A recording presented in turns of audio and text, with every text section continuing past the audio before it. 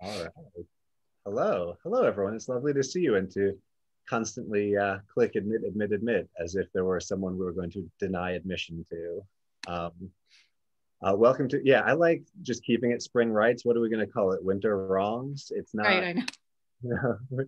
this is where we are. Um, and as, as, I was talking with my, my family about what we were going to do tonight, uh, we discussed how how odd it might feel to be focusing on syllables as um, as as the world around us proceeds as it has been. So I just I wanted to pause right here at the top and and take a moment to note that it's you know it's been a difficult time for just about everyone right? The pandemic what's been going on in in dc and around the country all of it. Um, so i want to thank you all for joining me tonight. And i i hope my aspiration here is that thinking deeply about syllables for an hour and a half might serve not as just like a relief from the immediate complexities of our lives, but also perhaps a new method of grappling with our relationship to this reality that we're all living in. So, so I'm going to focus on what you signed up for, which is a workshop on syllabics.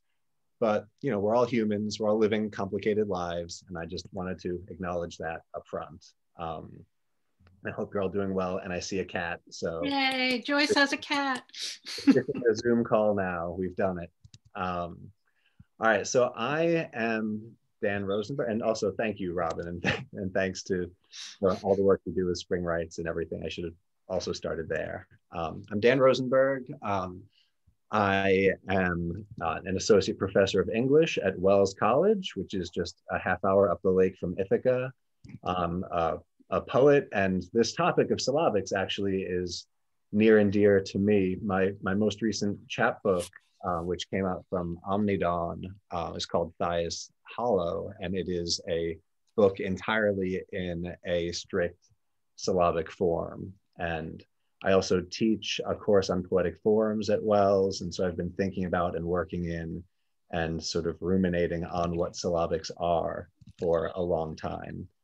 Um, and this is a large group of us, and I'm sure we have like varying degrees of comfort or familiarity with this subject. Um, and so I'm going to not assume any particular baseline knowledge here going forward, but if I lose you at all, please um, give a shout or you can, there's a raise hand feature in, in Zoom, which you are more than welcome to use or um, you can type a thing in the chat. I see lovely greetings and hello from sunny Colorado.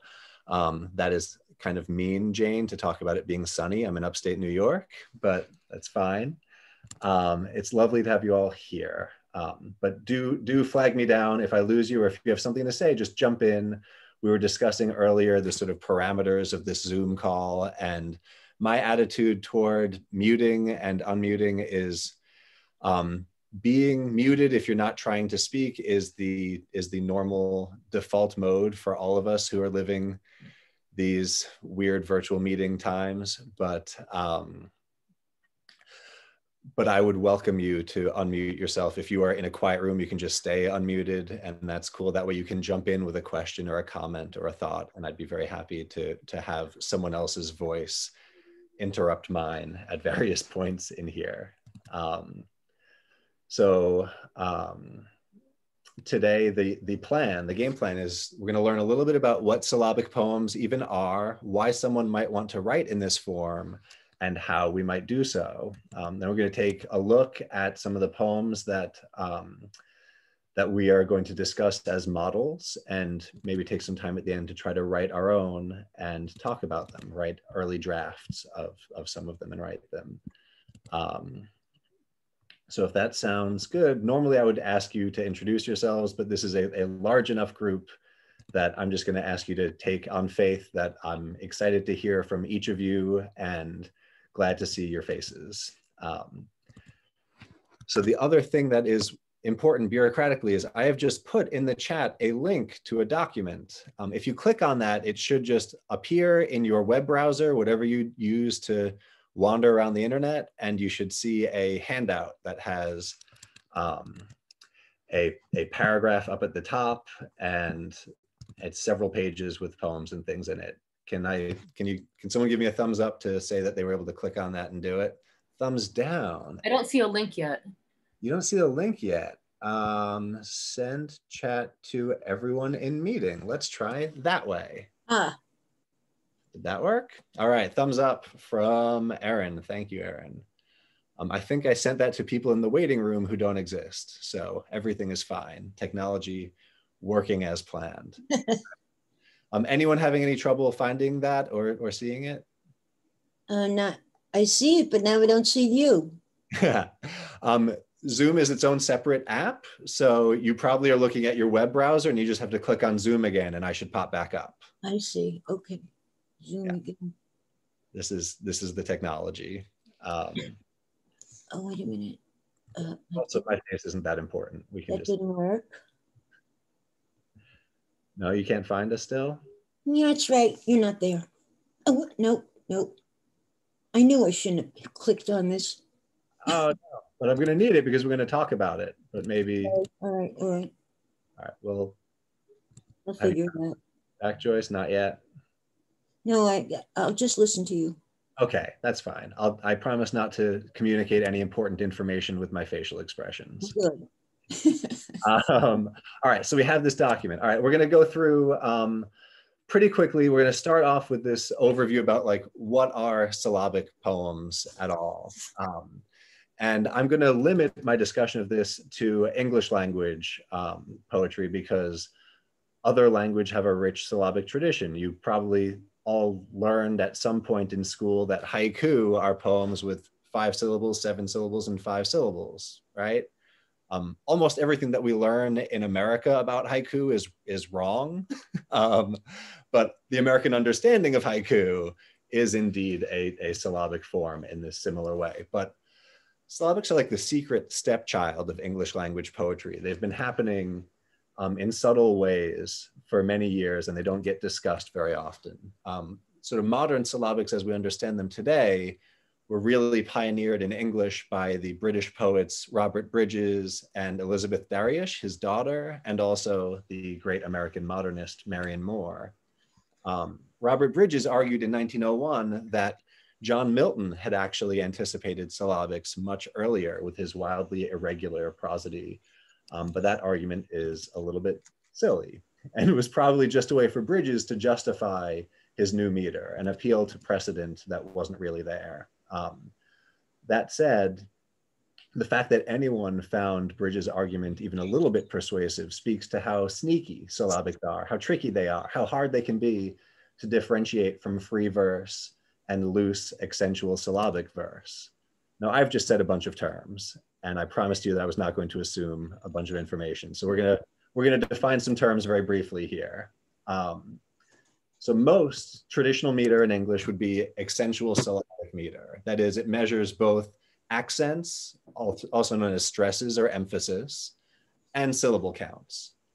So the meter that we've all learned from like having read Shakespeare is, is iambic pentameter, right?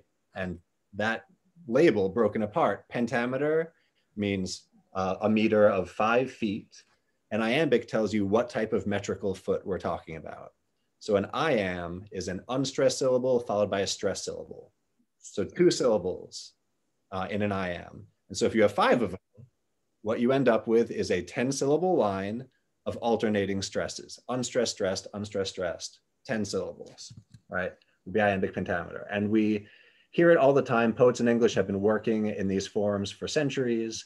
And we can hear that stress pattern, right? Shakespeare, but soft, what light through yonder window breaks. Ba-bum, ba-bum, ba-bum, ba-bum, ba-bum, right? Five ba-bums. Right? And even when it's not perfectly regular like that, we can hear an irregularly begun iambic pentameter line resolve into regularity. Something there is that doesn't love a wall. The something that it something there is gets a little bit messy. It's not that bump, bump, bump, but then we can hear that does not love a wall. Ba bum, ba bum, ba bum, right? And so that type of meter that counts not just the number of syllables, but where the stresses fall within those syllables is accentual syllabic. And that's the sort of default metrical system for English um, formal poetry. Um, what we're talking about is not accentual syllabic though, it's just syllabics. And Robert Beum in his 1957 essay, and this is the very first thing on the handout that I gave you, um, gives us a definition for what syllabic verse in English actually is, right? Syllabic poems actually are. Um, and I'll read it and it may not illuminate things, but we'll work through it and really we'll, we'll get to an understanding. Um, he defines it as verse which disregards the foot system. Remember, an iamb is a type of foot, right? So for accentual syllabic meter, you're figuring out the meter by looking at the little units within a line and identifying the pattern of those units, those feet. Syllabics doesn't care about feet. Um, whether foot by quantity, which is how Greek and Latin poetry works, or foot by stress, which is how German and English language poetry works. And instead of being measurable metrically into the small regularly recurring units within the line, it takes the whole line as its metrical unit. Each line, or in the case of a pattern of varying line lengths, each mating line contains the same number of syllables, while stress number and stress position are not fixed and while the lines are end paused. Okay, we're gonna break that apart into more digestible chunks so we can understand exactly what it means, right? Um, the first thing that I want you to note, importantly, is that syllabic poems don't try to do away with stress. They're not rejecting stress. You can't do that in English. English is an accentual language. Um, what syllabic poetry does is it says, I don't care where the stresses fall. I'm not trying to pattern it. I'm not trying to organize it. So that means that syllabic poetry sounds like free verse poetry, right? There isn't that organizing pattern. You haven't you haven't standardized where the stresses fall in your language. They fall wherever they fall due to natural speech or maybe deeply artificial and awkward speech, however you're organizing your language, but it's not mathematical. It's not, or, it's not organized. Um, so that, that's the first note. The other note about um, Beum's definition that I want to point out is he has this long parenthetical where he talks about the case of a pattern of varying line lengths, each mating line. Um, there are two basic types of syllabic poems. There's uniform syllabics, where every line has the same number of syllables. And then there's variable syllabics, where the line lengths vary in their, in their number of syllables, but they vary according to a pattern. Um, so we're gonna, we're gonna go to examples because talking about this abstractly gets hard, right? Yeah. So we're going to look right down on the next page of our handout is our first example of a uniform syllabic poem, and it's Sylvia Plath's Metaphors. Okay, um, and are we there on the handout? Can we see it? Yeah. Metaphor is great. Um, I'll actually give you a frame because we're not going to have a ton of time to talk through these. I'll, I'll give you a little bit of an interpretive lens before we read it. So it's our first example of a uniform syllabic poem. It's a nine line poem nine syllables per line, as it announces in the very first line of the poem, right? I'm a riddle in nine syllables. Um, it's also a series of metaphors for the pregnant speaker. Um, and I want you to sort of note as we as we listen to this that there are there's no like pattern of stresses here. It's not iambic or otherwise. The lines sound as unregulated as free verse. And this is the other thing that's important to note that Beum's definition suggests, but doesn't make entirely clear, is that a line of syllabic poetry is a line of free verse poetry. Right? If you take one line from any syllabic poem in isolation and look at it, it will look like free verse, right? Because it doesn't have any internal pattern within it. What makes a poem a syllabic poem is if there is a relationship between the lines right? So you take a series of free verse lines that are all nine syllables long, boom, you've made a syllabic poem. That makes sense? Yeah. Nods, nods, nods. Great. Lovely. You're very responsive and I really appreciate it. It is, um, I have a feeling many of you have played this game before where you've talked to a series of dark mm. angles with names and I really appreciate the effort to not be that. Um, that's um, so, okay. So the line is the unit of measure is what I'm, what I'm saying here. So um, let's read the Plath and then I wanna ask you how this form functions in the poem. Like what does it do to the poem to have this weird syllabic pattern organizing it? Metaphors. I'm a riddle in nine syllables, an elephant, a ponderous house, a melon strolling on two tendrils. O red fruit, ivory, fine timbers, this loaf's big with its yeasty rising. Money's new minted in this fat purse. I'm a means, a stage, a cow in calf. I've eaten a bag of green apples, boarded the train, there's no getting off. Sounds strange to hear a man read that. yeah, yeah. It, it is, mine is not the voice that one would imagine this poem happening in for sure. Yeah. Um, so, would, sorry. No, you please, you go ahead. I was just going to say I would hear a lot more anger if it were female. Yeah, you think? A Yeah. melon strolling on two tendrils And- is just funny to me no matter what. No getting And off. fear. Yeah. And and disgust. Right? No getting off. God damn it. I didn't get that abortion. um, that is that is fantastic though that you are you are keying in on the sense of a loss of control in this poem, Yeah. right?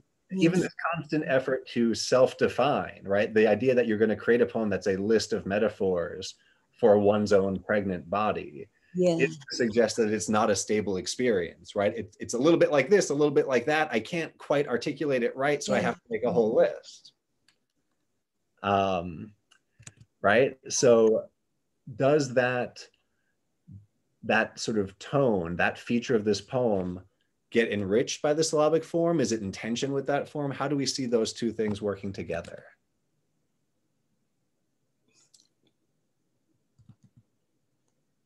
Well, to me, it sounds like an an, uh, an attempt to to not be emotional, and yet it and yet it delivers gigantic emotion.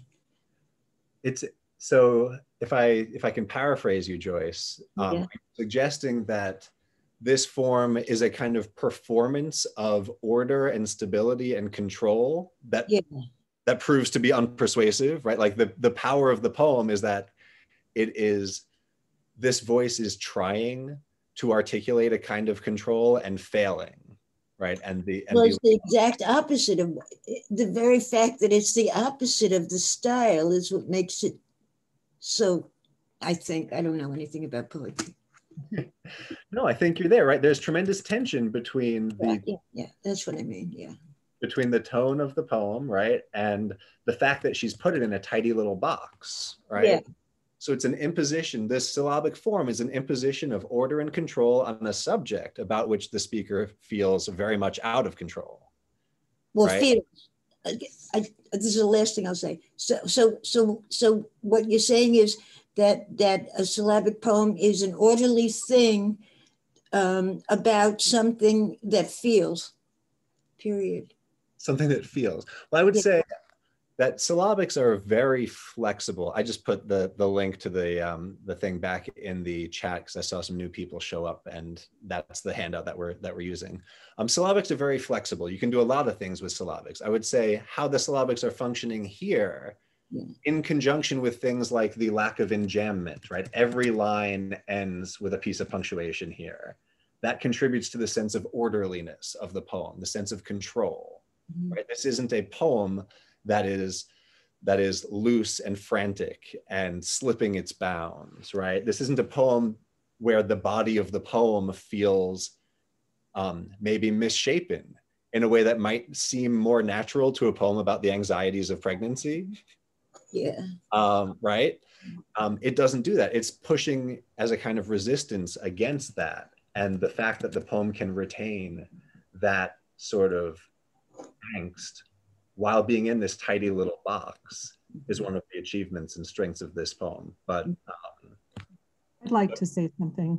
I, I find this poem to be a very loose ars poetica in the fact that it says, I'm a riddle in nine syllables, and then there's nine lines, and each line has nine syllables.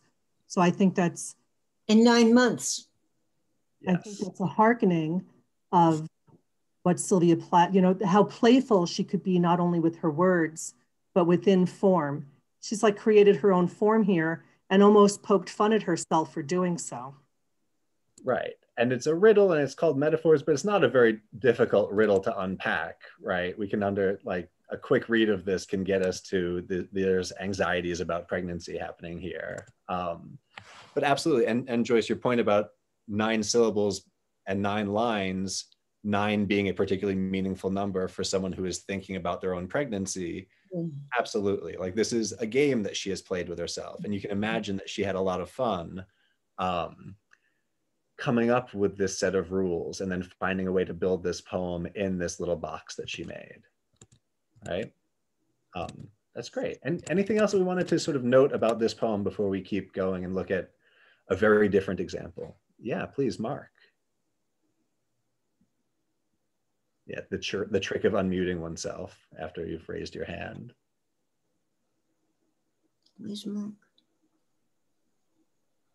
Um, it seems to me that the syllabics, which have no meter or, or rhythm, allow within the control of the same length lines uh, more of a force than these same statements or similar statements might have if they were subjected to um, a regular rhythm, a meter, and which I, I, think might diminish the impact of this state these statements. Like if they were if they were um, more audibly regulated. Yeah, yeah. yeah, yeah. The looseness of the line itself um, contributes to a sense of naturalness of the speech, right? Um, and there have been lots of arguments um, in defense of syllabics that make the claim that syllabics allow for a greater range of tone than, than traditional accentual syllabic meter. I'm not particularly persuaded by that argument. I have read formal poems in a wide variety of, of tones, right? Like I think you can, like there are some truths, right? Like um, iambic pentameter tends to feel a little bit more stately, a little bit more refined um, in part due to the tradition that we've inherited of iambic pentameter. And you know, if something sounds like a limerick, if it follows that metrical pattern, um, we tend to think of it as light and playful. Like there are some associations we have with different accentual syllabic, accentual syllabic metrical forms. Um, and we don't have those same associations with syllabics, but that's just a function of familiarity, I think. I think people haven't been paying as much attention to syllabics. Um, and I think I think the range is available in a variety of. I'm I'm always hesitant to buy into anyone's argument that says this type of poem lets you do X. Um, or even like as we were discussing this earlier, the syllabics create this sense of order. It's like, well, no, the syllabics are one feature of the poem among many that work in concert to create the effects of the poem right? We, I think the one-to-one causal relationship that we sometimes try to, um, um, that we sometimes try to make when we're talking about these things can oversimplify the dynamism of a poem. Their, their parts work in, in sequence or, or in conjunction with each other. Um, so that's cool. So, all right, so we have here a good example of a uniform syllabic poem. And I wanna scroll down the handout to the next poem, The Fish by Marianne Moore, which is our example of a variable syllabic poem. I remember Beum said there are these two types.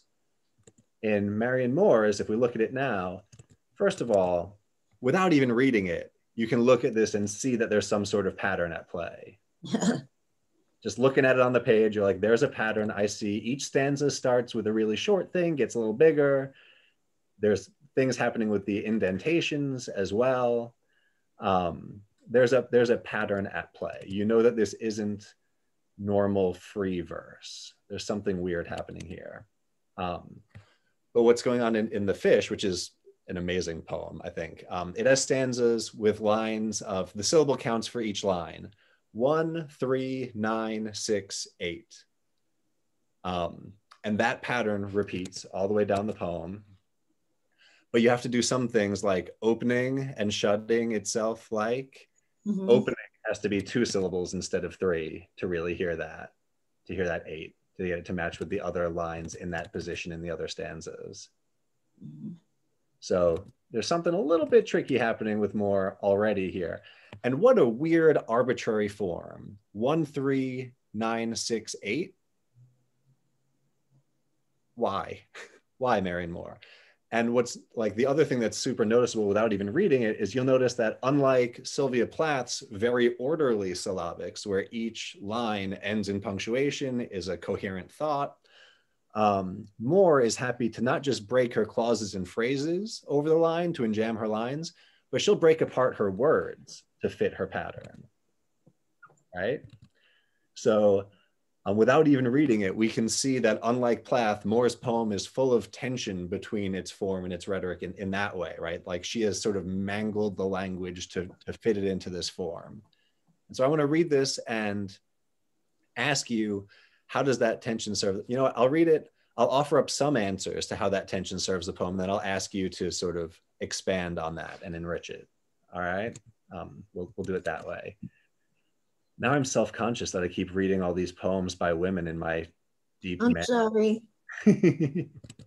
um, the fish, and it's so good. So Marianne Moore, Marianne Moore is one of the like great modernist poets, and she was um, a mentor and friend to um, um, Elizabeth Bishop, who also has a poem called "The Fish," and her poem does what we would assume a poem called "The Fish" would do it talks about a fish, right? It does other things too. Um, in Marianne Moore, right at the beginning, we're thrown because the very first word, wade, makes us realize, oh, oh, the fish is plural, right? Because if it had been a single fish, it would have been wades, right? So, and we're, we're thrown into the poem immediately. The first, the title begins the sentence it's such a wonderful way to like hurl us headlong into the poem and leave us disoriented from the beginning without breaking any without doing anything like um insane with her syntax right? She's just arranged things on the page in such a way that we are we are caught up. It's so good. The fish wade through black jade. Of the crow blue mussel shells one keeps adjusting the ash heaps opening and shutting itself like an injured fan. The barnacles, which encrust the side of the wave, cannot hide there for the submerged shafts of the sun, split like spun glass, move themselves with spotlight swiftness into the crevices, in and out, illuminating the turquoise sea of bodies. The water drives a wedge of iron through the iron edge of the cliff, whereupon the stars, pink rice grains, ink bespattered jellyfish, crabs like green lilies, and submarine toadstools slide each on the other. All external marks of abuse are present on this defiant edifice.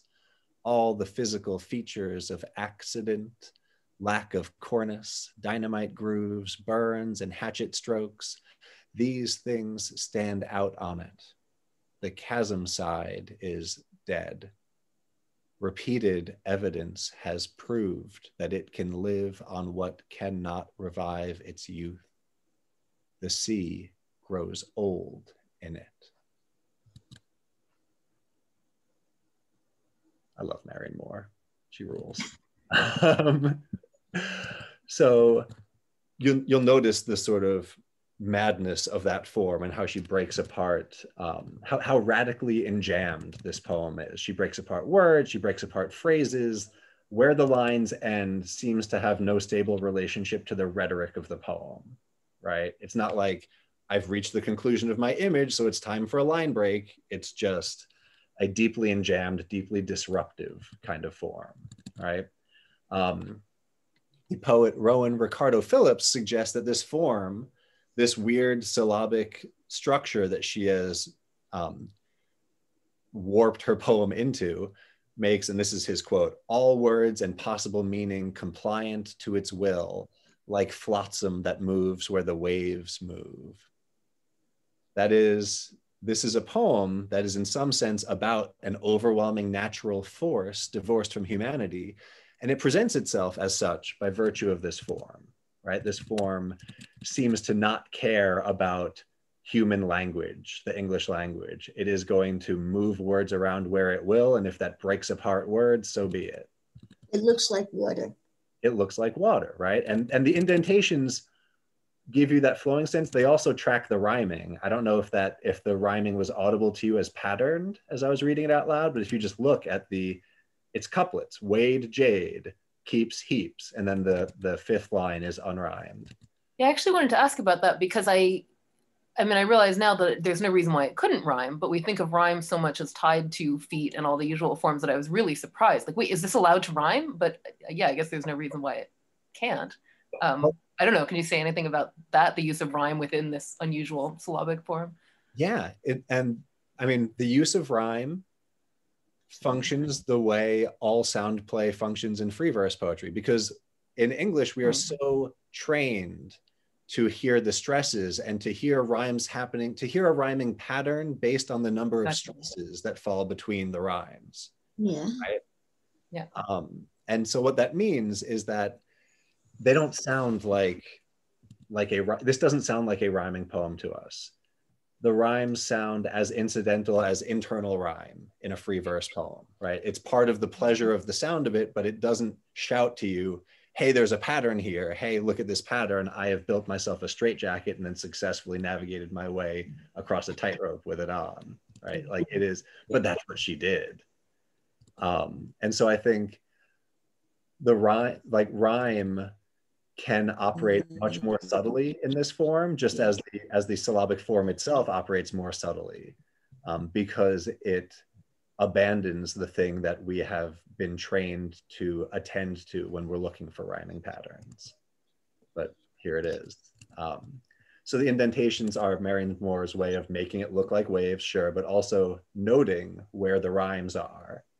Um, a kind of key or guide to the clever game she's playing, right? Um, but I want to get back to this idea about about it being this form being mimetic of a sort of natural force right? Because um, of course, that sense of an overwhelming natural force, the idea that this is a poem that is in some sense voiced by, by the sea, um, is itself artificial and highly constructed, right? Which is to say, it seems like a poem celebrating the power of the sea's agency beyond the works of humanity. But it's also a poem that screams at us very loudly Marianne Moore did some crazy things intentionally. She has mangled this language because of her will right? Like it is, um, it, it's a it's a wonderful thing. Uh, Phillips calls this poem a pan to an uninterrupted natural world that has been interrupted at every step along the way. Right, which I think is just a, a lovely way of understanding the beautiful contradictions of this poem. Right. Um, so, so other things like I think that that tension is part of what's why I wanted to call this poem to your attention in particular. That idea that she has chosen a very intricate form that forces her language into uncomfortable structures um, and forces us to read across her line breaks aggressively. Otherwise, we can't make sense of what she's doing. Um, and that's combined, if Sylvia Plath made sure that every line is end stopped, um, Marianne Moore has these long, complex sentences that are grammatically coherent sentences. They just have all sorts of buried clauses in them that make them really hard to track. Um, so why? I'm sorry? Why? Why? Why does she do that? Yeah. Well, I'm going to turn that around to the rest of us. What does that do to us as readers? Like, as I was reading this to you, um, as you were reading it along, as you may be looking at it again. Yeah. What's your experience of these lines? Can you keep the whole sentence in your head? Yeah. yeah, yeah. Joyce can. Um, Erin, maybe not so much. I find it challenging, right? This this long sentence, right? The barnacles which encrust the side of the wave cannot hide there, for the submerged shafts of the sun and then we're going to have this long description of the sun's rays, split like spun glass, move themselves with spotlight swiftness into the crevices, in and out, illuminating the turquoise sea of bodies. Bitch. That's Uh, the sentence that goes across like two and a half stanzas. yeah. I It's think so- it's kind of Proustian. Y- Yes, and it's so dense and things just accrue to it, right? It just goes on and it grabs more bits and and things just multiply and there's this growth to the sentence that happens as she wanders off and like decides she's going to give us this lovely description of shafts of sunlight underwater, right? The sun split like spun glass. That's a lovely way to describe what what rays of sunlight might look like underwater. Um, but it, it interrupts her sentence constantly. Her sentences are constantly interrupted, which is part of um, my experience of this poem, which is that it is stable and coherent, and she's got very clear. And this is true of all Marianne Moore poems, really. If you sit down and you take the time and you read them carefully, um, they will reveal themselves to you because she is a careful, she's a meticulous um, craftsperson of, of language. But these poems, particularly The Fish, also allow you to just let the language wash over you and just enjoy the sounds and enjoy the images and live in this world that she is building for a little bit. Um, Dan, I wanted to make one comment that when this poem was written, it was obviously written by hand. And that, that entire art of just doodling would lend itself to more naturally come up with a, you know, sort of unconventional form rather than sitting at a computer, which is very formatted. And so I kind of envision this as being very loosely written. And then it came to her that it could be an unconventional form, which wouldn't happen if you're typing on a computer. Uh, maybe I don't. The the early drafts of this were not in syllabic form. The early the earliest drafts look like free verse. Um, so there is there is a strong argument for the the the fiddling that she endlessly did, maybe leading her to this to this structure. Um, I don't I don't know if you couldn't get there on a computer. Um, I think in many ways the type of obsessive fiddling that we're talking about here is a lot easier in a digital medium because you can just move things around. But also that shortcut robs you of opportunities to discover new things because you don't have to rewrite the whole thing by hand. Right? There's uh, it's a it's a mixed blessing. This um, very cool. But what like for our purposes, thinking about about syllabics, I wanted to just have these two really divergent models for what syllabics can do. And so to contrast that initial thought that like Sylvia Plath is showing us that syllabics can offer this sort of stabilizing structure more the sentence is stable, but the syllabic form that she's put it in is wildly disruptive of that stability, right? So it's not, there isn't a specific effect that writing in syllabics can achieve. It's how it operates in relationship to the rest of what your poem is doing that, that determines the effect, right? Um, so I want to I want to back up a little bit and say we have these two main flavors, sort of uniform and variable syllabics, and their and their different approaches and effects, and we can see how those forms function in the context of these two specific poems. Um, but I want to sort of ask this larger question that um, that maybe Jane alluded to here. Um, other forms can achieve similar effects in various ways. You can you can be um, grasping toward order in another form right? You can speak about impersonal forces in another form. So why syllabics specifically? What do they, what do they give us? And Elizabeth Dar- Daryush, I'm not sure how to pronounce her last name. If someone else knows better than me, jump in. um, Elizabeth Daryush um, syllabics as a way of composing according to the natural speech rhythm, as opposed to patterns of stresses right? And Matthew Francis similarly celebrated syllabic lines for sounding more natural and conversational than traditional iambic lines. But both of those arguments sound like free verse to me, right? That's the argument for free verse. Um, and, and in fact, most critics, when they're thinking about syllabics, locate syllabics in the space between free verse and accentual syllabic formal traditions in English. Um, there's this wonderful book called An Exaltation of Forms has a chapter by Margaret Holley about syllabics, in which she describes the appeal um, by noting that metrical, poet, metrical poets seeking freedom and free verse poets seeking stricter forms meet in the middle ground of the syllables subtle but countable presence. Subtle but countable seems like an important note for syllabics. Subtle but countable presence.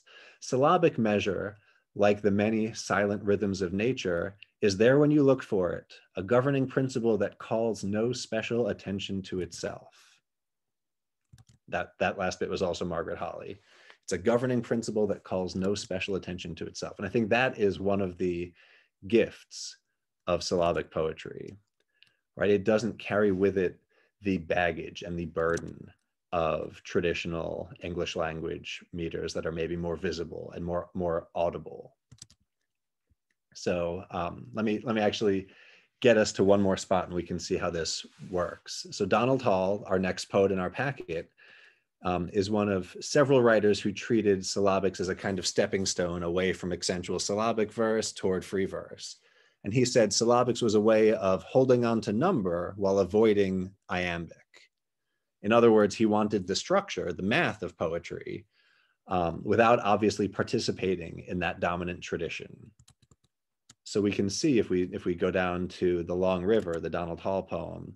Um, this is a syllabic poem. It's four, four, five, four, four syllables in each stanza. So it looks like um, it looks like a uniform syllabic poem, but it's really variable, but just minor minor variation. That one middle line is just one syllable longer in each stanza. Um, and I think what's interesting about this one is that we can hear in this syllabic poem the echo of an accentual pattern. Um, just about all of these lines have two stresses. If we listen to it as, as I, I, I'll read it out loud, we can hear more or less two stresses per line. It can, it can feel like it's flirting with that more traditional accentual syllabic meter, but it's not. He's organized it around, um, around the syllable count alone the long river. The musk ox smells in his long head my boat coming. When I feel him there, intent, heavy, the oars make wings in the white night, and deep woods are close on either side where trees darken. I rode past towns in their black sleep to come here, I passed the northern grass and cold mountains. The musk ox moves when the boat stops in hard thickets. Now the wood is dark with old pleasures. Had we not been doing a course on um, syllabics, we might have looked at that and thought, okay, probably free verse, or we, or we might have looked at that and noticed the musk ox smells in his long head. I feel him there, intent, heavy. The oars make wings. So many of these lines have two beats to them. Right? So it's it does operate in this sort of middle space where um, Donald Hall is interested in preserving what he calls number, right? The sort of math of poetry while getting a little bit more free. Um, and I don't, I mean, I'm looking at our time and I want us to have some time to sort of do a little bit of writing if we can. Um, so I want to just maybe pivot from this and ask, like, what's the virtue of number? Why not go straight to free verse, Donald? Like, what does this get you? Um, and I think we can hear some of the pattern. There's pleasures in that pattern. And um, Robert Beum locates the virtue of number in this is his phrase, the psychological pleasure of repetition, right? Repeated number of syllables, which roughly matches a repeated duration of time or breath, is pleasurable. Patterns are pleasurable, even if for most readers that pattern isn't obviously legible, at least legible at first, right? So there's one, one quick answer to why syllabics is because pattern and repetition is fun, right? Um, another answer to that is that the um, the pleasure isn't for the reader at all right um, the pleasure is for the writer the the use of syllabics is what it does to your composition process not necessarily what it does to a reader who is encountering the poem at the end of your composition process.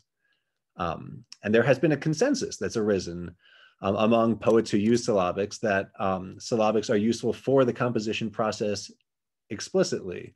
Um, Rosellen Brown wrote about her, her book of syllabics, Cora Fry. I chose syllabics as a form partly because that meant I would have to ration my words. Every time I wanted an adjective, I would have to beg for it in my syllabic line.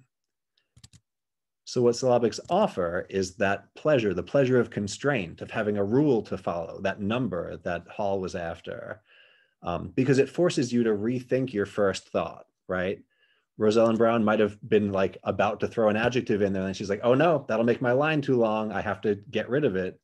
And that self-interruption does beautiful things to your composition process, right? It makes you rethink your first thought. It allows you to be surprised by what you write um, which is one of the great pleasures of writing a poem, is surprising yourself. Um, and importantly, it's a subtle form, right? And if we think back to um, what Margaret Holley said, a governing principle that calls no special attention to itself, the subtlety of syllabics means that it's a set of rules and your reader might not even notice it. Um, it's a form that doesn't come with baggage. If you sit down to write a sonnet, you have to talk back to the sonnet tradition.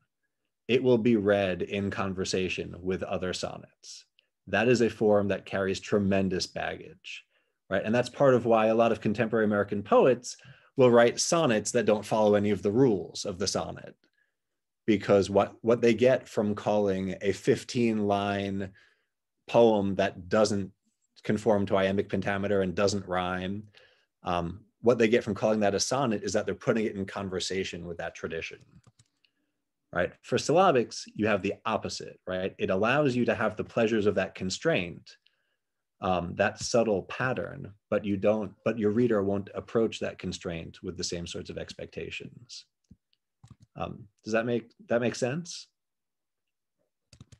Kind of cool right? So i don't want to spend all of our time on the on the rest uh, like going through the rest of the packet here because I, I am mindful that we have such limited time, but I want to just like look at the packet quickly because I gave you a handful of others. There's Dylan Thomas, a refusal to mourn the death by fire of a child in London.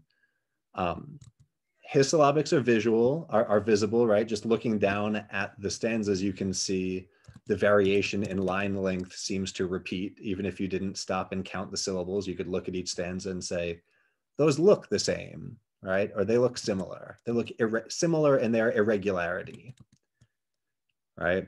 Um, his enjambment is far less aggressive than Moore's. Um, the lines feel a bit more coherent and unified.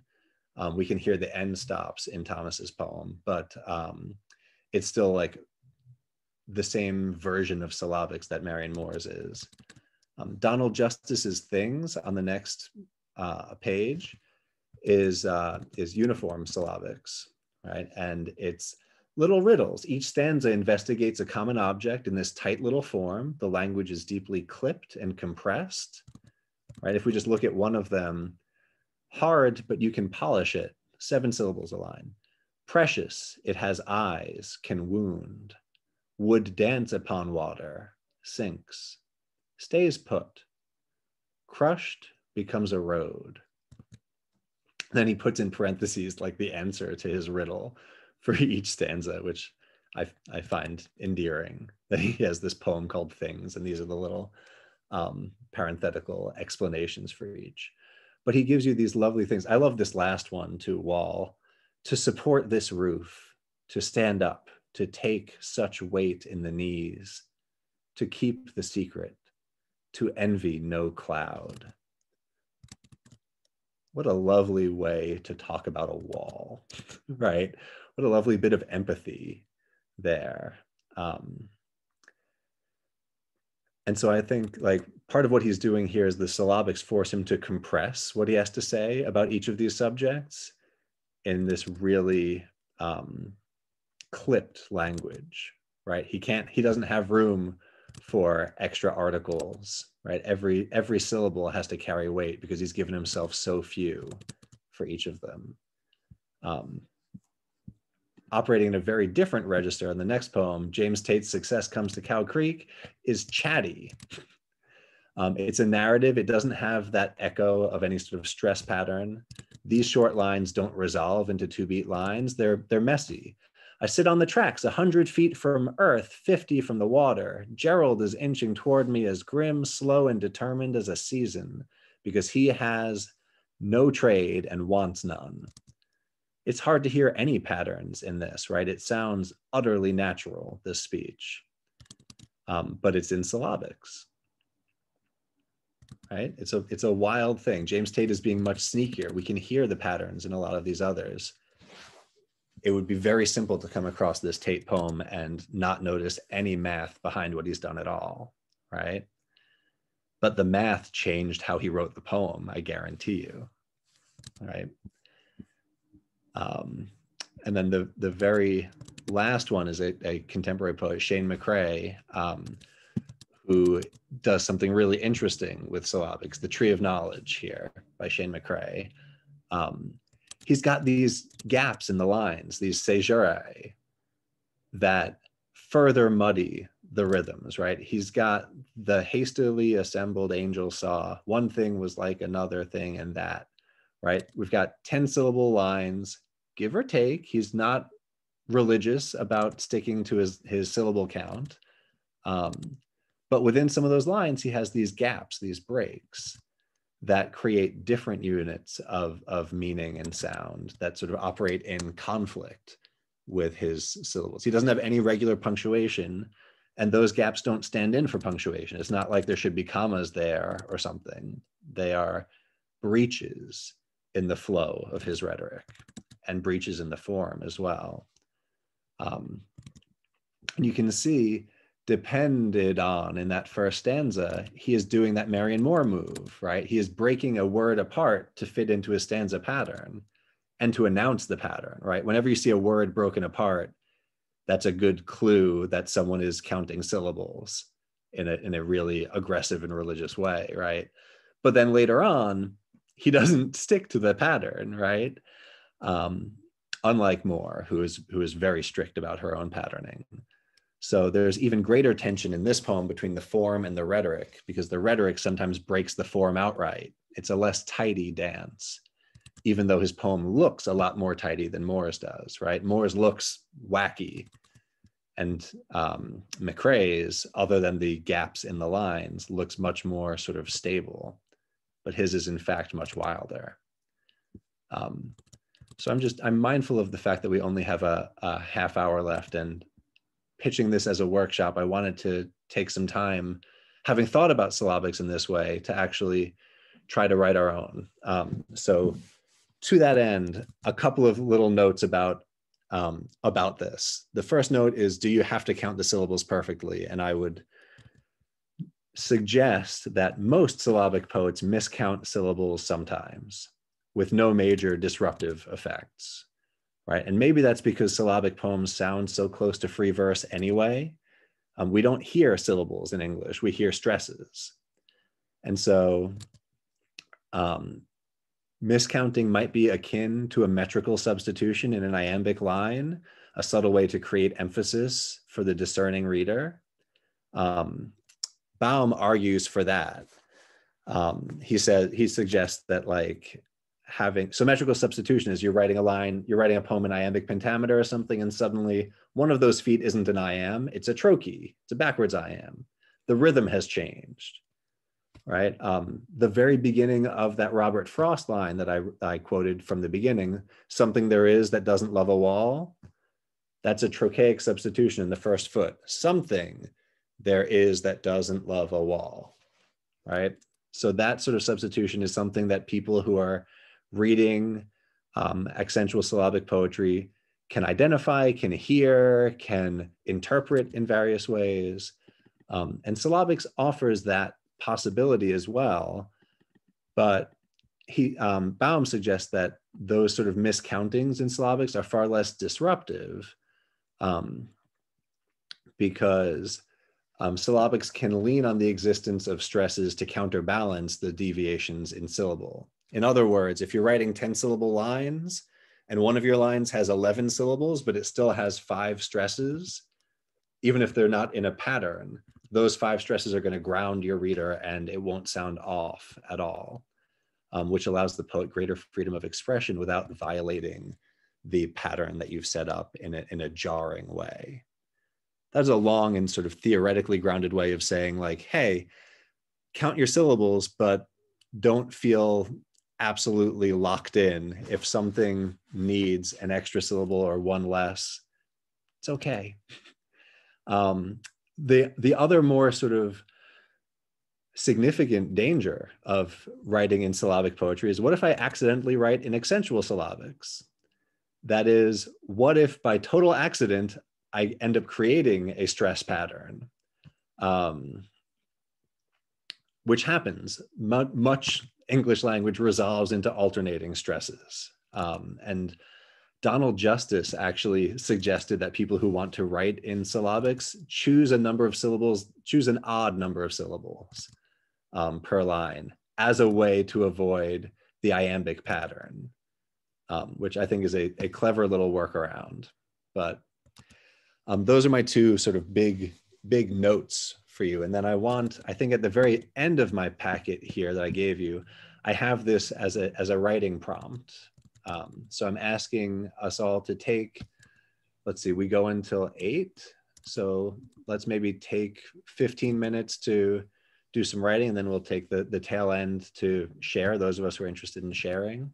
Um, so the, the steps that I am encouraging you to take now, um, um, the steps I'm urging you to take now would be first, decide if you're drawn to variable or uniform syllabics. Do I want a bunch of lines that are all the same, that sort of regularity and control, or am I interested in trying something a little bit more um, wild? Um, and I encourage you to abandon rhyme for this project because that just adds a whole different layer of absolute insane complexity. But if Marianne Moore really got you, or you, you're looking at the Dylan Thomas and you're sort of excited by what he's done with rhyme, go for it.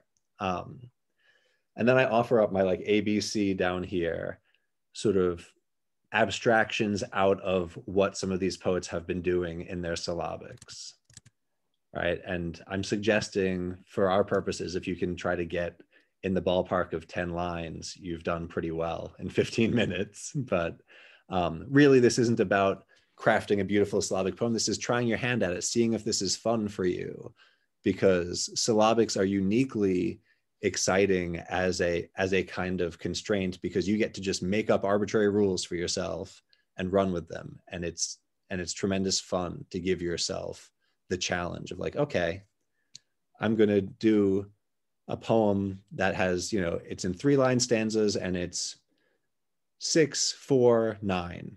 Those are the number of syllables in my three lines. I'm going to keep doing that. And let's see what happens and see it will force you to turn in places that you didn't mean to turn in your poem. Um, does this sound good? yes please. Um, i was just wondering when you were saying about like you know that it might still end up having five stresses in a line isn't that still an accentual form even if they don't fall into a pattern? Like how is it not accentual poetry if every line has five stresses. And i don't know i'm just wondering like how wouldn't you have to deliberately avoid that to make it not be accentual po- sensual poetry? Like uh, yeah. yeah um yeah accentual versus accentual because if it's accentual syllabic that's pretty easy to avoid. You just need to not have the stresses appear in a pattern right? But if you're suggesting each line having five stresses is itself an accentual form yeah yes it is okay.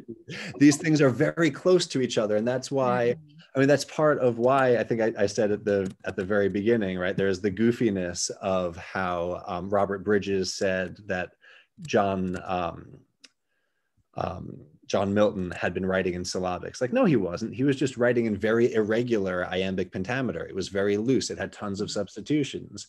But that sounds a lot like maybe he was just counting 10 syllables and hitting and like starting a new line mm-hmm. right? If the if the stresses aren't falling in a strict enough pattern it can feel like syllabic these are close right? And i think what would make it not sound like an accentual poem would be if some of the lines don't have five stresses but they are 10 syllables right but then the ones that break from your 10 syllable rule do resolve into about five stresses, which is what most of your lines will be flirting with anyway, unless you're consciously avoiding it because English tends to be drawn toward those alternating patterns of stress. So about half of your half of your syllables are going to feel stressed often. Um, yeah, but but the, the answer to your question is yes, right? These things are are connected and can be indistinguishable from each other. Um, I hope one of the takeaways from this conversation is that the pleasures of writing in syllabics are in some ways independent of the effect on the reader. And so do it because it helps you write in a new and exciting way. And then if that form becomes a legible part of the poem, so be it. And if you end up revising away from syllabics as you're revising your poem, who cares, right? You've made a cool poem, right? So um, the hope is that this is generative. I don't know if that if I got away from your question, Ella, but uh, no, great. Yeah, it makes a lot of sense, I, and I like that kind of constraint, like microfiction and that kind of thing, where you have to work hard for every word. So yeah, it makes total sense that it's it's more about the process. Yeah. Awesome. Um,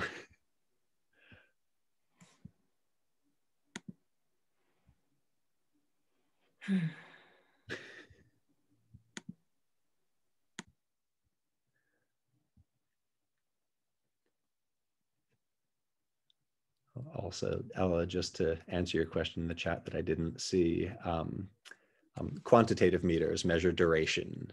Um, it's it's a hard thing to even explain in English. Various poets have tried to write in quantitative meter in English, and it's impossible to hear. It's it's madness. Um, yes, I did try to look that up in the middle, and it like it gave the example of the word above, which is a short and then a long, just kind of approximate that idea. So yeah, that makes sense. They're just basing on something else. Yeah yeah Thank it doesn't but in english it doesn't sound like it's it's inaudible really. It sounds like someone has been writing in free verse or some sort of we hear the stress patterns so much more loudly than we hear the duration of syllable. Um, but yeah. other languages are different. Yeah and that can be a difference in meaning in other languages the length of yeah anyway. Interesting stuff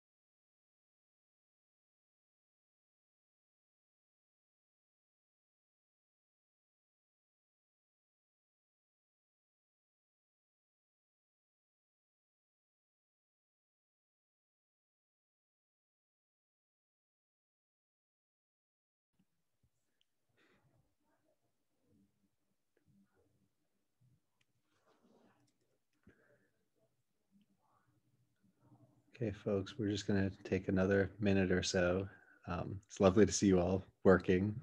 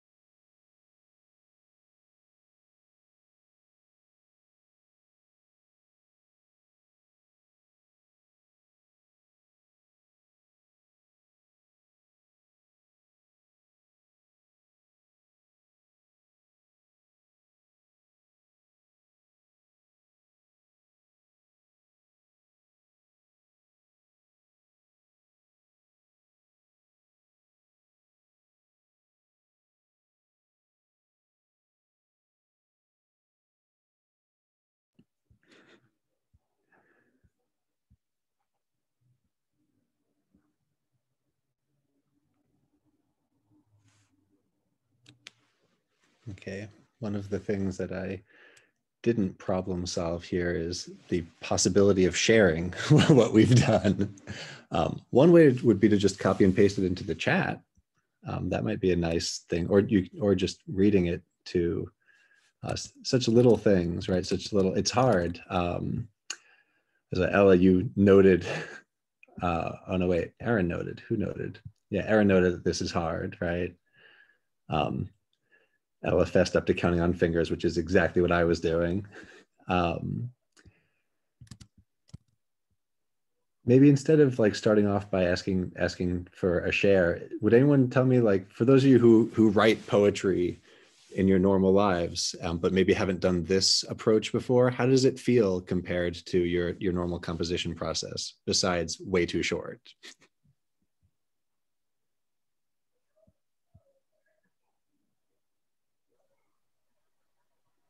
You might have to unmute yourself.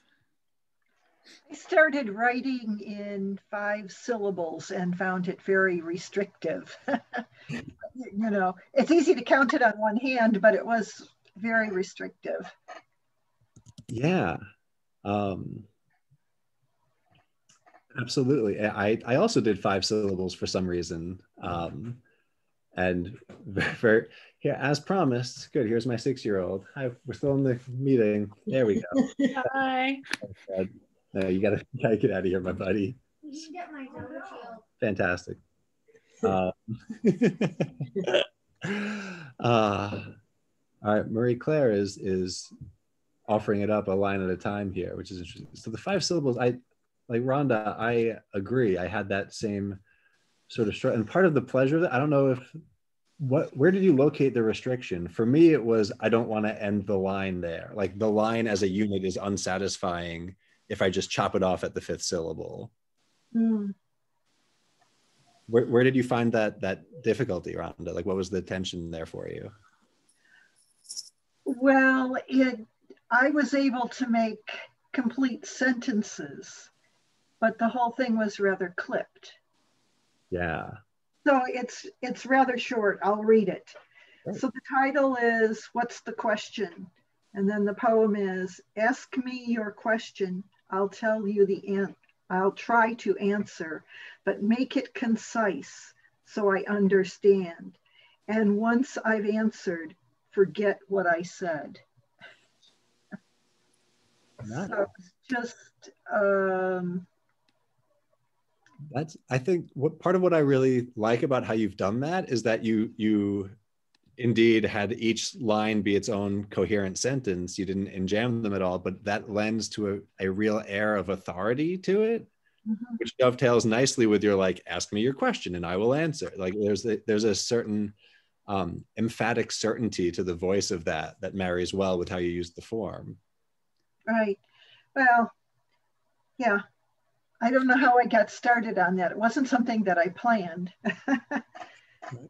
That's. Um, I'm, I'm not sure what I did. This is the first time I've done an exercise like this. And uh, it's just very brief what I came up with. Twas beyond when I came home, wandering streets, slick with lane, with rain, memories entangling hair, so recently your hands had touched. Hmm. kind of seven, and then the last one was nine. Nice. Yeah, it's so it's it's inaudible, right? Like were, were you guys trying to hear the pattern and you can't particularly if the if the writer reads over the line breaks, it's it's really impossible to hear it. It's syllabics are in some sense just a visual form in that in that way, right? Um, just hearing the poems, they will sound like free verse poems. But that was lovely, lovely uh, imagery in there. How was your If you make your lines longer, it allows you to get into the imagery. If your lines are really short, you you feel that you can't do that. You have to be really concise. Well, I think that that also depends on if on your sense of the line, right? If you need the line to be a coherent rhetorical unit, then then maybe that'll get tricky. But if you're willing to do something more like what Marianne Moore does, where she allows the image to spill over multiple mm-hmm. lines, then then the the force of the syllabics becomes a of just quiet rephrasing, like, oh, I was going to put a two syllable word there, but I'm at the end of my syllable count. I'm not allowed to put that two syllable word there. I have to rethink it. Did anyone, did anyone hit that when you were writing? You're like, and this next word is going to be two. Ah, damn it. I can't. Constance is giving me the hard nod of this is the exact experience I had five minutes ago. Um, and the hope for that, I, I, see you, Ruth. We'll get there right one second. The hope Mhm. is that um, um, that becomes the opportunity to be like, okay, I can't put that two syllable word there. What else can I do? And then your poem turns for you, right? You Mhm. find a new solution to the problem, and that changes where your next line was going to go. And you get to experience that pleasure of surprise, right? Frost said, you know, no surprise for the no no surprise for the writer, no surprise for the reader. Um, I think that is th- this form allows you to create that surprise for yourself. Ruth, you want to you want to Well, um, well, I think I sort of forgot what I was going to do, but I, I was just thinking that um, as someone who writes really short, sort of like to the point things, you know, um, um, when I was teaching, I used to say to my kids, you know, get everything down and then get rid of the word poop. You know, it's kind of like, um, well, like you know, like the the kid that you know wanted a pony and woke up with a room full of manure and said, I know there's a pony in here somewhere. Um, but um, it, so I, I, found this sort of interesting to be able to, um, I, I, don't know what I created. I mean, I did create something, but still it's, um, I, I, found that it, uh, it made me really have to choose words and then i finally had a word that i wanted and so i just put it in anyway. But i mean i'll read it to you if uh, um, it's like um, i stand stirring lasagna noodles staring at them writhing like sea serpents oblivious thinking of cats spling, split, sparklers songs poems and suddenly immortality Nice. What was the uh, what was the organizing principle? Um, it, it, it started with sort of four five four five, um, but it, it's just um, um, I like to cook. This is one of those things, and I, I find that lots of times cooking, uh, you know, I'm like my mind's somewhere else. This is a very meditative thing usually for me. So, um, nice. That's great, I, and I, I like that you had that impulse i had that impulse too and i wonder if others had this as well of like i want to put I, I am resisting using just one syllable words all the way down or something like i'm drawn to a to a longer word by virtue of like i don't know the pleasure of watching it eat up my allotted syllables yeah you know? no i had to have immortality and it just and so i had to split it with immortality. Oh. so if you could see it, you could, but I didn't type it. I wrote it out. So Right. So mortality on its own as the four syllable end. Yeah, and I had to do that with serpents too because the word serpent was just too good to I mean snakes wouldn't have worked. oh, fun. Yeah, so you found yourself breaking the words apart to sort of match, yeah. match the form and then that that becomes one of the most noticeable formal features of the poem, right?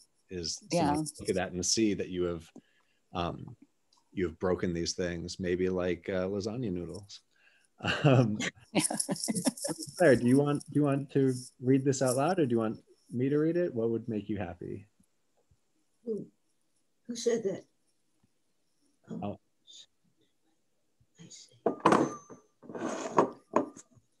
I see. You're, you're muted, Marie Claire, but are you interested in reading it or, or do you want me to just share it? You're still muted, though. I can't hear you. I can read. Yeah, sorry, I can read it, but I um, I made a mistake when I'm reading it. I don't know if this works with what you were talking about. Uh, soft and thin like silk paper, crimson red and translucent, oval, a bloodstain on green grass, fallen in the light wind. This is the riddle, like uh, the riddle poem by, uh, so I don't know, I didn't give you the answer. nice. um, crimson red and translucent oval. A blood stain on green grass, fallen with a light wind. Yeah. A leaf. No. No. Close. yeah. It's a poppy. Jane is raising petal. A poppy's petal. Ah. Poppy petal. Interesting. Yeah. The what petal? What was that? I, I, I asked what she had said. I didn't hear it. A poppy. What? A poppy petal. A poppy's petal. I The, see. pet, the petal of the poppy flower. That's Petal a poppy. Oh, a poppy. I was close with leaf. You Yeah. were close. You were very close. I, I was thinking leaf as well. I was like, well, not quite oval and not quite soft usually when they're falling. So they're Yeah, yeah. in that register. Yeah, it's lovely. Um, and and how you read it, how like the pauses there, and I, I'm so intrigued by like translucent is such a nice word, and it eats up so much of your syllable count. So I think when you know that someone's writing in this sort of tight form, it changes your understanding of the choices that they've made, right? Um, and there becomes a kind of pleasure to that. Oh, this is lovely. Deanna, Deanna shared one as well. Do you want to read that as well now that we can all see it? Oh, it's so silly. I just it was really hard for me to do this. So I I really like it because it was really a challenge. But I just wrote the cat meows all loud. He is hungry. His fat belly must be deflating. I've been writing, ignoring his crying lies, but now I shall get him food. It's time. That's all I got. Nice. His fat belly must be deflating. It's a particularly sad description. uh, very nice. Um, yeah, it's the sort of thing that like I can imagine because that's very casual and chatty in it in its in its register. I can imagine if this poem went on, um, it could become a really interesting thing where we would see that form, we would see the relationship to the form evolve as you're going, right? Where like you would find some moments of of frustration that would get animated and then some moments of just like fluidity where you're going right through it the way you are here um Thank cool you. That's really nice erin would you be interested in sharing yours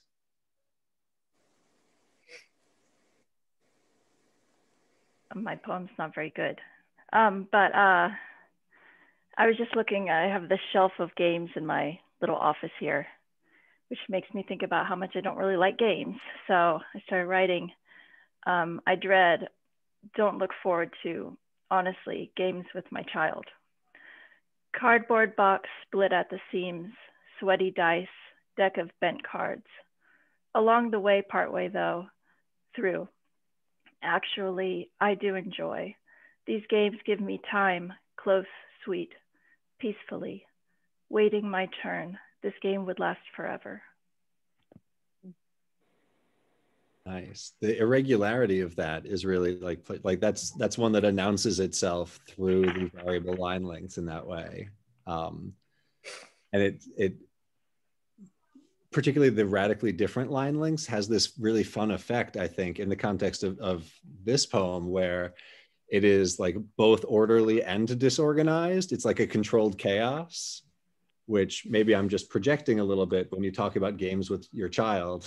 That, that is that feels like an appropriate form in which to discuss such things. Sort of controlled chaos. Um yeah very very nice y'all. This is this is lovely. I'm glad to see what you're all doing and i hope that this has been an interesting way to think about um, maybe a different mode of composition for. So I'm looking at the time, I see it's just about eight.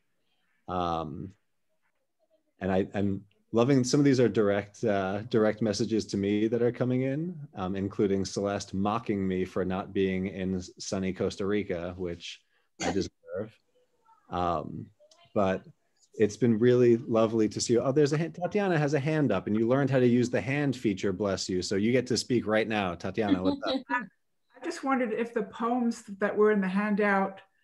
Um, I I don't know if technologically you can do this. Can I? Can we have those to keep in some way?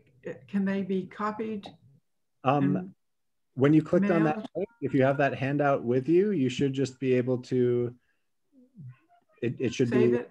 yeah you should have an option to say save it and it should save right on your on your computer It's in, it's a Google form, I think. So you just click download Yeah. and then you've got it on your computer.